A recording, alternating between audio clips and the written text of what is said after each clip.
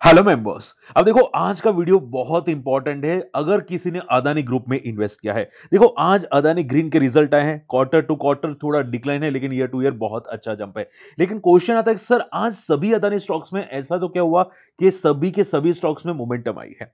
देखो, अदानी पोर्ट की बात करनी चाहिए, साढ़े चार परसेंट की मोमेंटम है। अदानी एंटरप्राइज छह परसेंट की मोमेंटम, अदानी पावर पाँच परसेंट की अपर सर्किट, और एक टाइम पे तो अदानी ग्रीन भी ऊपर था, प्रॉपरली काफ़ी अच्छा ऊपर था, अदानी एनर्जी सॉल्यूशंस भी। क्लियर? तो देखो, ये सभी चीज़ें बताऊँगा, वीडियो एंड तक देखिएगा, कोई क्वेरी रहती है, कमेंट कर देना, ठीक है? मैं जनरली आपकी क्वेरीज यहाँ पे शॉर्ट आउट करता रहता हूँ। एंड आज के दिन के अंदर एक और वीडियो आ चुका होगा, रिलायंस के बारे में। रिलायंस मुझे लगता है और ऊपर जाएगा, एक बार जाके ज़रूर चेकआउट कर लेना, ठीक है? चलिए फटट मुद्दे पे आ जाते हैं। देखो शॉर्ट एंड सिंपल में ध्यान से सुनना, जो बोलने वाला हूँ। अदानी ग्रीन के जो रिज़ल्ट आया है बिग बीट होता हुआ दिखाई दिया। अब देखो बिग बीट यानी कि क्या? कि बड़े प्लेयर्स जो अनुमान लगाते हैं ब्रोकरेजिस हाउस जो अनुमान लगाते हैं, उससे काफ़ी बेटर आया है।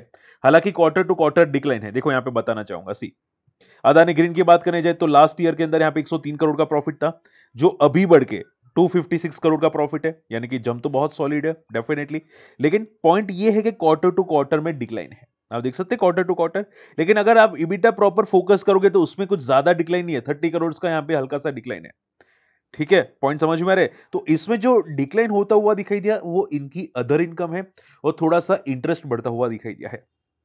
ठीक है? लेकिन मुद्दा मेन हो जाता है कि भाई सेल्स बड़ी है। क्लियर तो हम लोग इसको पॉजिटिव कंसिडर करेंगे। मैं आपको समझाऊँगा सर पॉजिटिव क्यों है? आप टेंशन मत लीजिएगा। लेकिन शॉर्ट एंड सिंपल में ये रिज़ल्ट पॉजिटिव है। ठीक है? और उसी की वजह से स्टॉक यहाँ पे आज ऊपर जाता हुआ भी आपको दिखाई दिया अदानी ग्रीन का स्टॉक ओके तो ये पॉइंट हो गया यहाँ पे अदानी ग्रीन के रिज़ल्ट अब मुद्दा नंबर टू आता है, देखो पॉइंट नंबर टू सर, सभी अदानी ग्रुप के स्टॉक्स ऊपर क्यों गए? तो उसकी सबसे बड़ी वजह है यहाँ पे, ध्यान से सुनना।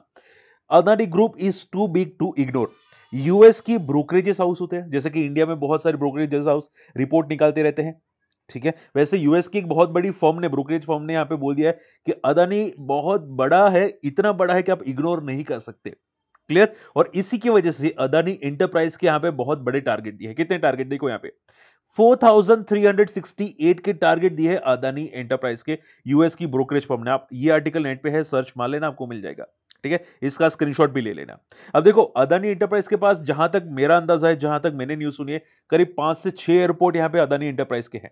ठीक है? जो भी एयरपोर्ट से रेवेन्यू आता है, वो यहाँ पे अदानी एंटरप्राइज का है। और एक और एक एयरपोर्ट है जो अंडर कंस्ट्रक्शन है, वो बहुत जल्दी यहाँ पे कंप्लीट हो जाएगा। उनका भी रेवेन्यू बढ़ता हुआ दिखाई दे सकते हैं। बहुत सारे प्रोजेक्ट्स पाइपलाइन में है। नए नए इन्वेस्टिंग करते हुए दिखाई दिया अदानी ग्रुप तो इसी की वजह से ये बहुत बड़ा कंपनी है टू बिग टू फेल बोलते ना?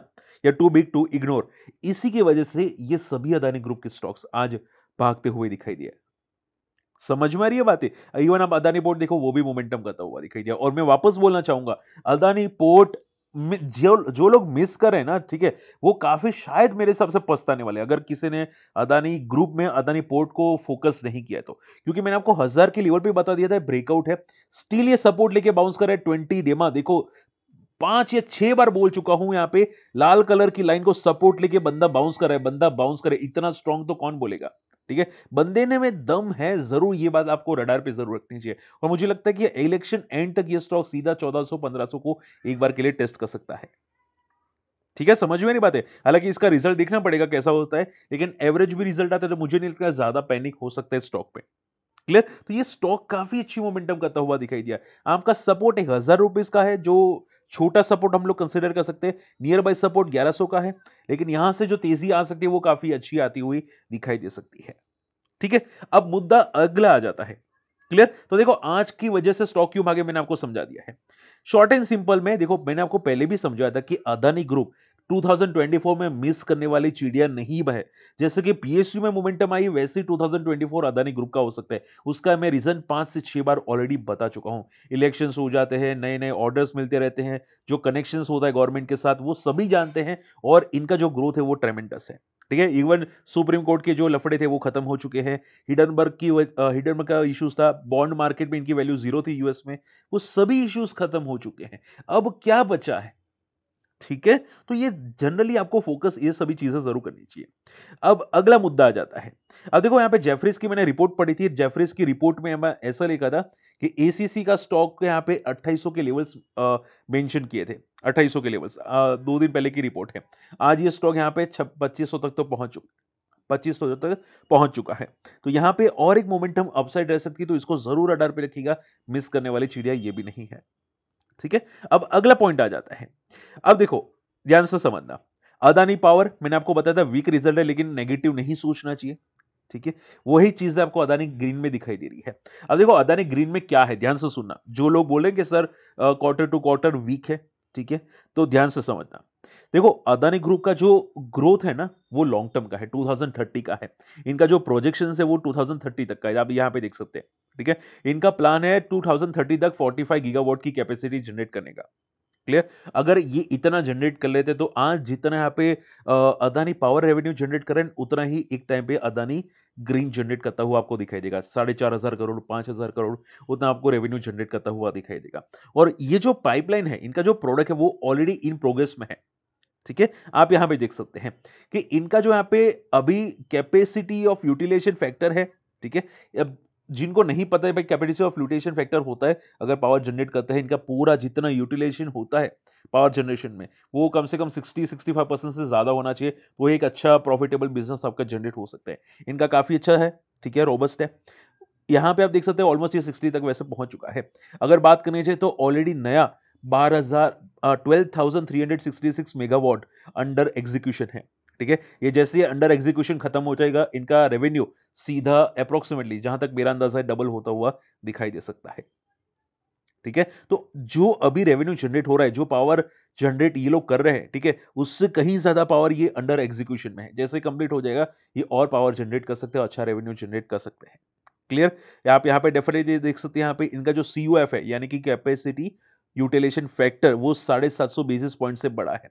ईयर टू ईयर बेसिस पे, जो काफ़ी तक पॉजिटिव है, ठीक है? नई कैपेसिटी भी ऐड करते हुए दिखाई दिया इबिट्टा इसकी वजह से, आप देखो ईयर टू ईयर इबिट्टा कितना स्ट्रांग बढ़ता हुआ दिखाई दिया है, ठीक है? इनका प्रॉफिट आप देख सकते हैं यहाँ पे सेल्स इनकी, अदानी ग्रीन की one thousand nine hundred crore से बढ़ के सीधी ईयर टू ईयर बेसिस पे तेईस सौ करोड़। और लास्ट आप देखो 2022 अगर 2021 कंपेयर करोगे तो आपको ग्रोथ दिखाई देगा, ठीक है? आप देख सकते हैं ग्रोथ यहाँ पे सी पहले 700 करोड़, फिर 1400 करोड़, फिर 1900 करोड़, फिर 2300 करोड़। तो पिछले चार साल में इनके सेल्स में काफ़ी बढ़ोतरी है। 41 करोड़ का प्रॉफिट 49 करोड़, फिर 103 एंड 256 करोड़। ठीक है? तो ग्रोथ ऐसे देखो, ये लोग, इनका जो प्लान है, वो लॉन्ग टर्म का है, अगले 10 साल का है। और इसकी वजह से वो हल्का हल्का निवेश करते रहते हैं ये लोग। ठीक है? तो जो लोग, आप बोलते हैं ना कि sir quarter to quarter decline है तो सभी स्टॉक फॉल नहीं फॉल क्यों नहीं करते? ठीक है? कुछ स्टॉक्स ऊपर क्यों जाते हैं? तो देखो, हमेशा याद ये रखो कि अगर किसी का प्लान चार से पाँच साल का है या उससे ज़्यादा प्लान है तो वो उसी की तरह चलेगा। लॉन्ग टर्म का देख के वो चलेगा। ठीक है? ये लोग ने, अदानी ग्रुप ने ऑलरेडी अपना फ्यूचर प्लान्स बता दिया है कि मेरे पास इतनी कैपेसिटी है, मैं इतनी कैपेसिटी जनरेट करूँगा आगे जाके। ठीक है? और इसी की वजह से ये लोग यहाँ पे नई नई फंड रेजिंग करते हुए दिखाई दिए। देखो यहाँ पे, ये लोग यहाँ पे अभी जितनी भी फंड रेजिंग की है, अदानी ग्रीन ने ठीक है, उसमें से और फंड रेजिंग करने वाले नौ हज़ार तीन सौ पचास करोड़ की और, देखो, और यानी कि मोर फंड रेजिंग करने वाले हैं। इसमें से यहाँ पे 2300 करोड़ की फंड रेजिंग कर चुके हैं। तो अप्रोक्सीमेटली साढ़े छह, सात हज़ार करोड़ की फंड रेजिंग आगे अगला अठारह महीने में करने वाले हैं। ठीक है कैपेसिटी देखो फंड रेजिंग का करेंगे क्या? कैपेसिटी इंक्रीज करेंगे। फिर डेट पुल आप यहाँ पे दिखाई दे रहे हैं, उसको भी कम करने की कोशिश कर रहे हैं। ठीक है तो ये जो फंड रेजिंग होते हैं, वो वारंट्स के ज़रिए होता है। कन्वर्टेबल वारंट्स डिबेंचर्स उसके ज़रिए होता है। ठीक है? तो आप मुद्दा ये समझे कि ग्रोथ पाथ पे सभी अदानी ग्रुप के स्टॉक्स गए समझ रहे बात है? आप यहाँ पे देख सकते हैं 2030 तक 45 गीगावाट का इनका प्लान है।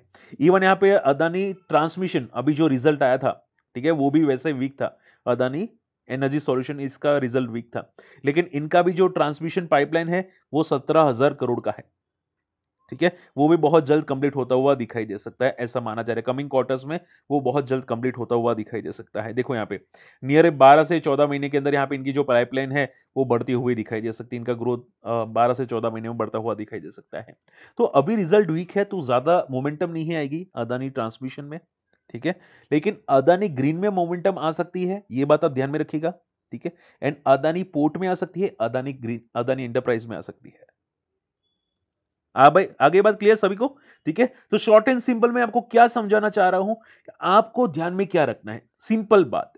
अदानी ट्रांसमिशन का स्टॉक में अगर कोई पूछे वन वर्ड आंसर तो अदानी ट्रांसमिशन में अभी ग्रोथ नहीं है। अभी प्रोजेक्ट्स पाइपलाइन में है तो करंट क्वार्टर का रिज़ल्ट फ्लैट है। क्या? फ्लैट है। Year to year quarter to quarter तो इसमें ज़्यादा मोमेंटम नहीं आएगी, ना ज़्यादा गिरेगा, ना ज़्यादा ऊपर जाएगा अभी के लिए। ठीक है? हल्का हल्का मोमेंटम कर सकते हैं, जैसे कि दूसरे अदानी ग्रुप करते हैं। क्लियर? तो इसको ये थोड़ा स्टेबल टू पॉजिटिव रह सकता है। इसमें टेंशन मत लीजिएगा।